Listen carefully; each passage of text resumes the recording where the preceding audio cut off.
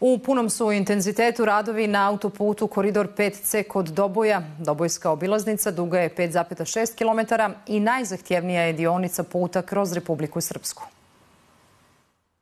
Izgradnju zahtjevne dionice zbog brojnih objekata dodatno usložnjava geologija terena. Zemljani radovi trebali bi biti završeni u naredna dva do tri mjeseca, nakon čega će se raditi sistem odvodnje i gornji sloj puta. Na gradilištu svakodnevno više desetina mašina i 250 radnika. Pa najzahtjevniji je ovaj, ovaj deo posla naš koji mi trenutno radimo, bušenje.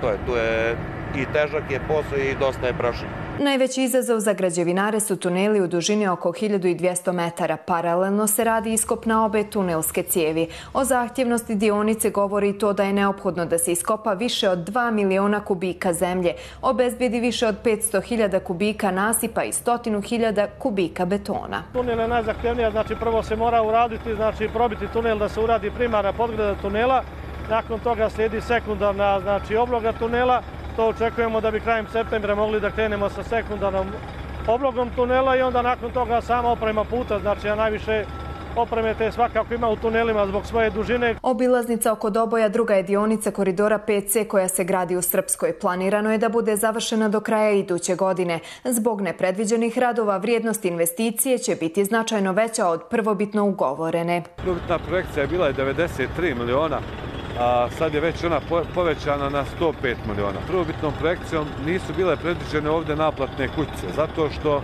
je taj projekat rađen prije 15 godina, posmatrao je autoputeve kao jedno preduzeće unutar Bosne i Hercegovine. Nije posmatrao kao dva entitetska preduzeća.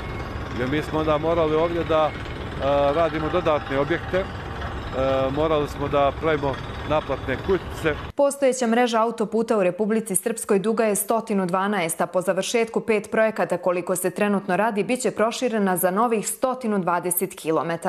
Primarni cilj je povezivanje autoputem Banja Luke sa Beogradom.